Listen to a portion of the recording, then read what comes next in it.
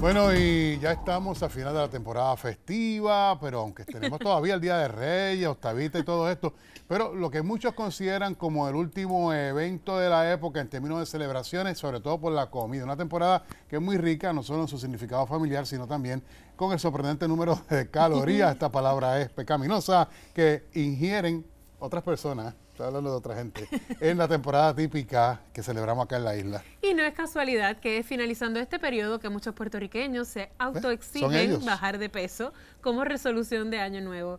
A la luz de esto y para hablarnos más del tema de cómo manejar la dieta, le damos la bienvenida a la nutricionista Lenis Rodríguez. Gracias por acompañarnos. Buenos días. hoy es mi primer día después de vacaciones, así que el encuentro con usted es, es que Dios me lo envió. Es como, como que necesario y pertinente. Claro. Y nos aplica a todo un poco. Mira, hasta los que están por allá, ¿verdad? Sí. Ok, sí, claro que sí. Hay muchos puertorriqueños que hoy están tratando de ponerse para su número. Claro. Incluyendo. Hasta como resolución. Sí, sí, sí. Eh, pero tampoco podemos hacerlo de cantazo.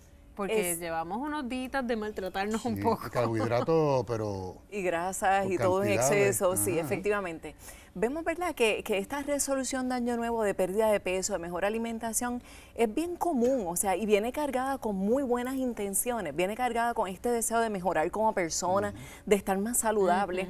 Sin embargo, tener, que era lo que ustedes mencionaban, metas realistas y cortas. Yo no debo de tener una meta muy larga, con unas expectativas bien fabulosas, que aunque viene cargada de buenas intenciones, no va a ser fácil cumplirla. Posiblemente se me haga más fácil pensar en que voy a perder una o dos libras por semana que pensar en que voy a perder 10 libras en dos semanas, ¿verdad?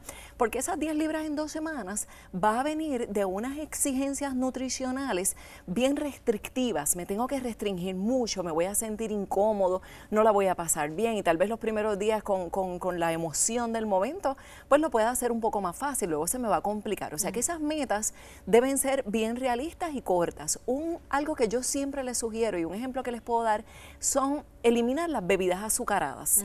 Una persona que consume refrescos, jugos, iced tea o incluso hasta bebidas alcohólicas en cada comida, ¿verdad? Venga que a lo mejor en el desayuno fue un jugo de china, en el almuerzo un refresco y en la cena una copa de vino. Si yo elimino eso y tomo solamente agua, al final del día me puedo estar ahorrando cerca de 300 a 500 calorías provenientes de azúcar, claro. Y todo el que hace ejercicio sabe que quemar 300 calorías en una trotadora da trabajo. Hay, que trabajar. hay que trabajar. ver esa pantalla. Que uno dice, solamente llevo 50 calorías, ¿verdad? Y llevo un rato haciendo ejercicio. O sea que yo tengo esa meta que puede ser algo bien realista, tomo solo agua o una bebida sin azúcar y puedo ahorrarme esas calorías provenientes de azúcar. Igual hacer modificaciones en las porciones y en el método de cocción. O sea que si normalmente yo consumo dos cucharones de arroz o me como dos presas de carne o tal vez en el método de cocción uso la mantequilla, uso el aceite frecuentemente, yo puedo corregir eso que es parte de mi dieta típica. En vez de dos cucharones de arroz, pues uso uno. Trato de cambiar aunque sea una o dos veces en semana por arroz integral en vez del arroz regular ¿Y el pan? ¿Hay un buen pan? Bueno, debemos buscar, ¿verdad? Panes que sean de harina 100% integral. Eso sería lo ideal. Pero que, sepa bien, porque uno quiere un que pan sepa bien, que, tenga pocos preservativos. Y sí los hay, sí los hay. O sea que va a ser importante, ¿verdad? Que la persona también visite a un nutricionista dietista, que, le, que le ayuden a hacer esas modificaciones de acuerdo a sus necesidades, gustos y preferencias, de forma bien individualizada. También tenemos que empezar como a, a tomar pasitos corto. Eh, si no, no haces ejercicio, pues quizás caminar un poquito, un poquito aquí, un poquito allá, un poquito aquí, un poquito Porque tal vez mi resolución de año nuevo puede ser ir al gimnasio una hora, cinco días de la semana.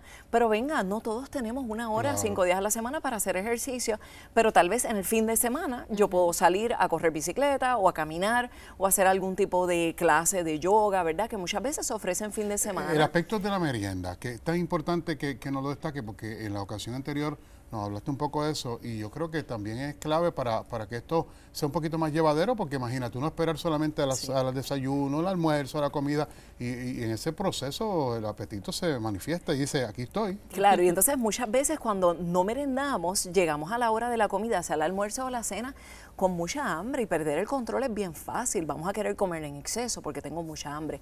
O sea que hacer meriendas saludables es bien conveniente, controladas en calorías de alto valor nutricional.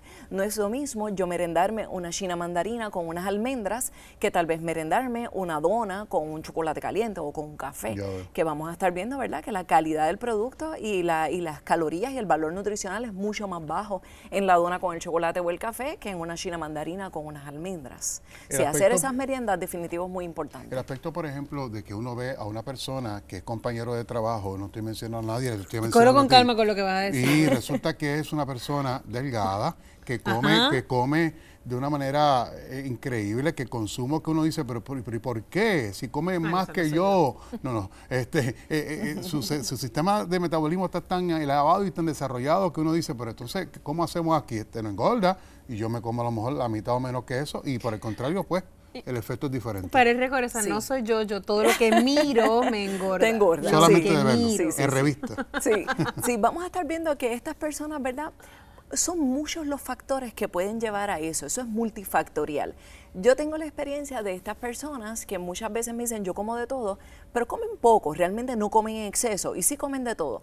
Siempre tenemos que enfocarnos, si el peso es muy importante, tener un peso saludable es muy importante, pero tener un estado nutricional óptimo va a ser bien importante porque con estos nutrientes es con lo que el cuerpo funciona, ese es el combustible. Necesita Claro, este es el combustible que yo le estoy dando y no es lo mismo yo tener una persona en 120 libras que come alimentos de baja calidad, comida chatarra, versus una persona de 120 libras que come alimentos de alta calidad y, en, porciones moderadas. Sí, estar delgado tampoco es estar en condición. No necesariamente es estar saludable o en condición. Yo he estado delgada y no, me canso de aquí a allí. Sí, pero hay algunos que comen y comen y yo digo, ¿cómo es posible? Bueno, ahí vamos.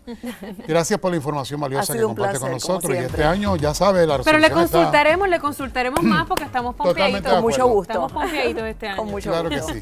Bueno, amigos, joven empresario nos cuenta su historia de éxito con compañía de mercadeo digital en la isla. Y recuerde que puede enviarnos sus comentarios, recomendaciones y sugerencias a nuestras redes sociales bajo Noti 360. Muchas gracias por su sintonía.